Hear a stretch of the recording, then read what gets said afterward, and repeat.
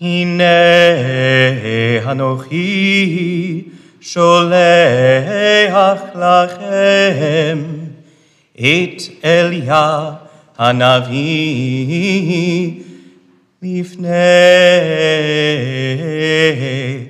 בוא יום אדוני הגדול והנורא והשיב לב אבות על בנים ולב בנים על אבותם בן אבות והכיתי את הארץ חרם. Behold, I will send to you Elijah the prophet before the day, before the great and tremendous day of the eternal comes. He shall turn the hearts of parents to their children and the hearts of children to their parents, lest I will come and smite the land with destruction. Passover has always been my favorite holiday, mostly because of the Seder. Growing up, my grandparents would host our family Seder. We would set up a huge table with assigned seating, and we would go through a Haggadah that they had pieced together over the years, cutting and pasting readings and rituals from various sources. My aunt would play guitar, and we would sing late into the night. My grandmother would make matzo ball soup. My mother would make brisket. As a child, I thought there were at least a hundred people at these Seders, full of everyone I had ever met. My mother recently told me it was closer to 30 people, uh, but I maintain that it felt so full of life and energy, they should each count as like at least three people. We were all so excited to be there, participating in the ritual of retelling our story, surrounded by those we love. This year will be more challenging than most for many Jewish families. Putting aside the cruel irony of celebrating liberation and freedom while hostages remain in Gaza, that there will be families in Israel with more than just Elijah's chair, painfully empty. We know that there are also families with empty chairs, missing family members for another reason. I've heard some parents and grandparents express a feeling of betrayal from their adult children or grandchildren, or a sense that they might have failed as Jewish parents. I've heard from some of those same adult children, members of my own generation or younger, that some of them feel unwelcome in Jewish spaces or even at their own families' Seder tables due to their, on, their views on the ongoing conflict. This is not a sermon in which I intend to argue for or against any position nor do I intend to repair the divides between them. It's not, and I can't. I am not Elijah, sent to bring the hearts of parents to their children and children to their parents.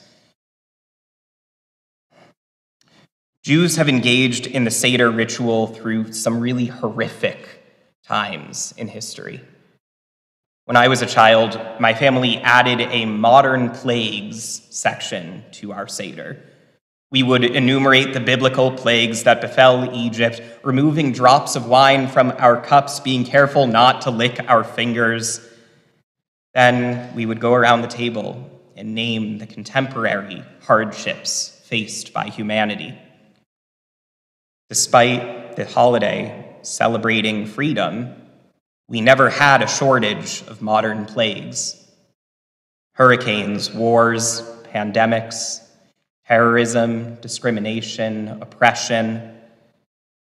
And yet, through sickness and evil, we still read the Haggadah every year just as our ancestors did. As the Haggadah itself teaches, Vihi sha'amda la'avotenu v'imotenu velanu. It has stood for others, and still it stands for us. This year feels different. Of course, every year and in every generation, there are disagreements that need to be put, in the need to put our opinions on hold for the sake of shalom bayit, keeping peace in the home, coming together in our tradition. But with some families' generations feeling not only divided, but diametrically opposed, I'm wondering how we do that. How do we put aside these glaring contradictions to celebrate freedom when a fundamental part of our freedom, Israel, sits at the center of the chasm. In the case of Moses, his story moves forward when he physically turns. In his early adulthood, he comes upon an Egyptian taskmaster beating an Israelite slave. He turns about, sees nobody, and acts, striking down the Egyptian. So he runs to Midian in exile, where he becomes a shepherd. And one day, while tending to the flock, he turns and notices a bush burning without being consumed. Here he receives the call to lead the Israelites out of Egypt. If we are to turn toward family, children to parents, and parents to children, do we in some way bring healing, bring honor, bring light into what could be a divided and painful holiday? Can we value our emphasis on Lador Vador generation to generation while feeling disillusioned, even betrayed by one another? If we focus on tradition, can that bring us back together. As we read in this week's Haftarah, I will send you Elijah the prophet before the great and tremendous day of the eternal comes. He shall turn the hearts of parents to their children and the hearts of children to their parents. Those words, the pronouncement of Elijah as the harbinger of, inter, of intergenerational peace and the end of days come from the book, the end of the book of Malachi, which we read as the special Haftarah for Shabbat Hagadol, the Shabbat immediately preceding Passover.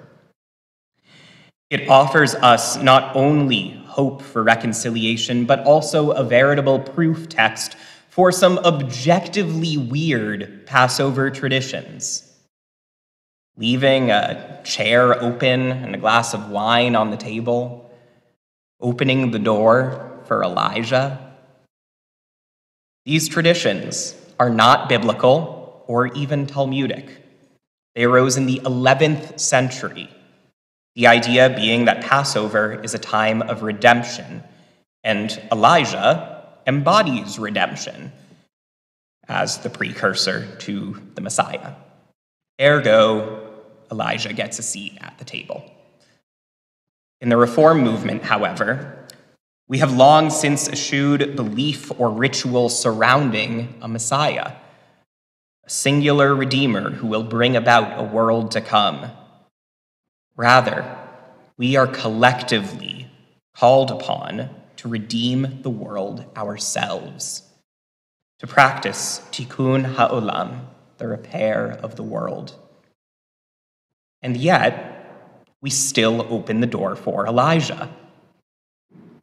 The ritual and tradition of the Passover Seder have the power to bring us together, to reconcile the generations.